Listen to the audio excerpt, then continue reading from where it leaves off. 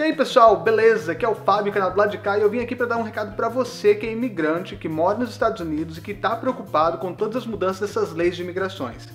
Tem alguém tentando passar a perna em você. Todo mundo sabe que tem sempre alguém querendo passar a perna na gente, né? Porque aqui nos Estados Unidos a comunidade brasileira já é conhecida por um querer passar a perna no outro. Mas não é desse tipo de rasteira que eu tô falando. Tô falando daquela rasteira estilo mestre de capoeira mesmo. Deixa eu explicar para você o que, que tá acontecendo.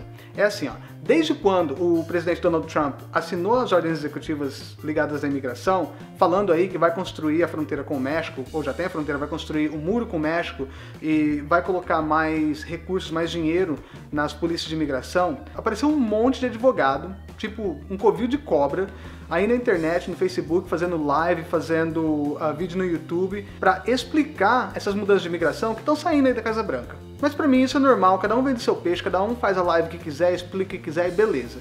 Só que o que eu tô percebendo é que tem um monte de advogado que tá fazendo live para poder ganhar cliente.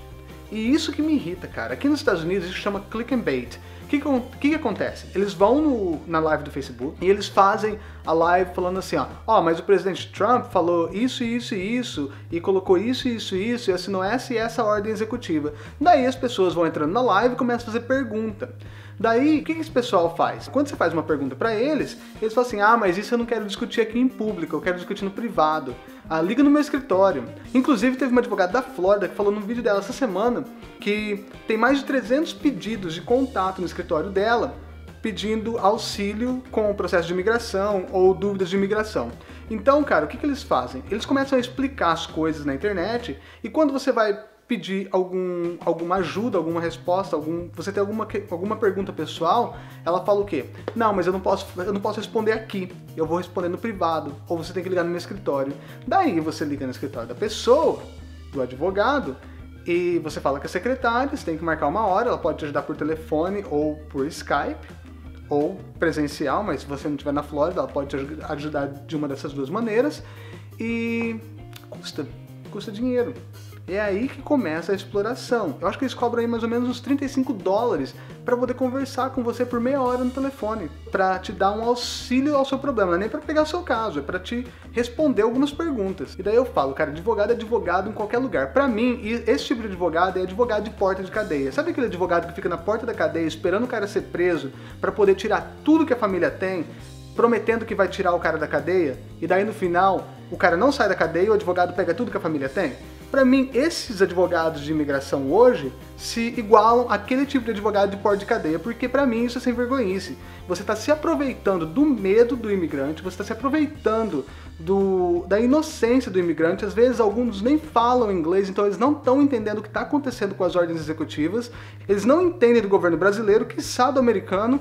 E daí o advogado vem, promete que vai ajudar, explica tudo. Provavelmente ele não vai entender tudo em uma sessão só. Cobra 35 dólares cada meia hora. No final de uma hora, 70 dólares já foi dia, um dia de trabalho do peão. Me desculpe se você é advogado, se você faz isso, mas para mim isso é vergonha. Eu sei que você tem que cobrar pelo seu tempo, mas você tá ali na live, você já tá colocando o seu tempo disponível para as pessoas, o que, que custa responder?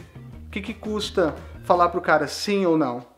Cara, cobrar 35 dólares para dar uma resposta pro cara, para mim é falta de caráter, mas eu não sou advogado, então eu não sei o que vocês prometem quando vocês estão passando no seu bar. Outro assunto que eu quero tocar aqui é os youtubers, porque tem muito youtuber que tá fazendo vídeo falando que tá um terror aqui, aterrorizando as pessoas, fazendo drama, drama de novela mesmo, drama de, de filme do Telecine, cara. Sai youtuber falando que a imigração vai bater de porta em porta, sai youtuber falando que as polícias de imigração vão separar famílias porque vai tirar os pais que são imigrantes e deixar os filhos que são legais aqui, né, que são nacionais dos Estados Unidos, que são cidadãos aqui nos Estados Unidos. Tem até youtuber falando que o Trump é a nova besta do apocalipse, a nova não, né, a velha besta do apocalipse, que ele tá vindo para cá para destruir o mundo.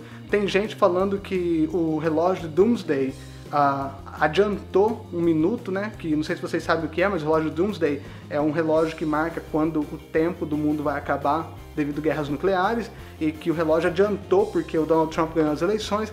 Então eu acho que eles estão pegando aí, né, um pouquinho, estão se aproveitando da religião das pessoas, da fé das pessoas, do medo das pessoas para poder ganhar view, cara, para poder ganhar clique no, no vídeo deles. E isso para mim também é mal caratice Sabe, a pessoa que se aproveita do medo, a pessoa que se aproveita da inocência de uma outra pessoa para poder ganhar view, para poder ganhar clique, para poder ganhar inscrito, para poder ganhar cliente, para poder ganhar dinheiro, para mim é mau caráter e acabou. Não existe outra palavra para definir. É mau caráter. E essas pessoas são os tipos de pessoas que não deveriam estar aqui. Não é o cara que está trabalhando, ganhando dinheiro honestamente. É a pessoa que está dando rasteiro em outros brasileiros, porque esse é o problema da comunidade brasileira.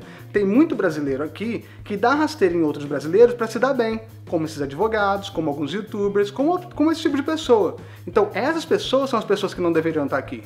Agora, o cara vai porque ele, às vezes, ele tá legal aqui, se achando no direito de aterrorizar outras pessoas porque elas não entendem o que está acontecendo. Essa indústria do medo é uma indústria filha da puta, porque o cara vai acreditar, o cara tá com medo, ele vai acreditar em tudo que você fala. Por exemplo, essa semana teve um caso de um advogado que estava fazendo uma live no, no Facebook, e daí teve um cara que comentou, perguntou, falou assim, eu tô noivo, tô para casar, ah, no verão aqui, como que eu faço, né? Será que eu tenho perigo ou isso? Ele virou e falou assim: ah, casa agora. Você tem que casar agora, se você precisar de algum auxílio, é lógico que tem um input aí, né? Se você precisar de algum auxílio, liga pro meu escritório que eu te ajudo. Outra coisa que eu tô vendo aparecer no Facebook direto agora é faça a sua cidadania italiana, faça a sua cidadania uh, espanhola, porque os, as pessoas, até, até então, né, as pessoas de cidadania europeia ou cidadania italiana não precisavam de visto para entrar nos Estados Unidos. Então, quando Donald Trump assinou essas ordens executivas, caíram matando, fazendo live, colocando anúncio no Facebook, isso e aquilo, prometendo que a pessoa, que iam resolver o problema da pessoa, tem até gente prometendo que consegue o green card da pessoa sem, uh, com 100% de garantia. E isso é se aproveitar daquele menos instruído. Então é isso, galera. Como vocês podem ver, eu tô frustrado, mas eu queria gravar esse vídeo para dar aqui um pouquinho de informação para vocês sobre o que está acontecendo. Não sei se vocês estão percebendo, mas eu tô. E antes de vocês saírem aí pagando advogados para poder responder suas perguntas, sabe? Dá uma procurada na internet, dá uma procurada em outro, outros vídeos da internet, outras lives, para ver se você acha, porque às vezes a informação que você está procurando tá aí já, já está disponível. Não acreditem em tudo que te falam, não deixem as pessoas usar do, do seu medo, do seu medo que às vezes é evidente, para poder extorquir dinheiro de você. Sabe, se você, se alguém falar, olha, eu vou te ajudar, mas você tem que me dar tanto de dinheiro, não sai pagando por aí. Conversa com outras pessoas, conversa com, uma pessoa que você confia, para ver se, até pergunta no Facebook, vê o que as pessoas comentam. Tem várias comunidades brasileiras no Facebook que você pode perguntar para ver se compensa, porque existe, eu gostaria de falar que não existe, mas existe muitos mau caráteres aqui nos Estados Unidos também.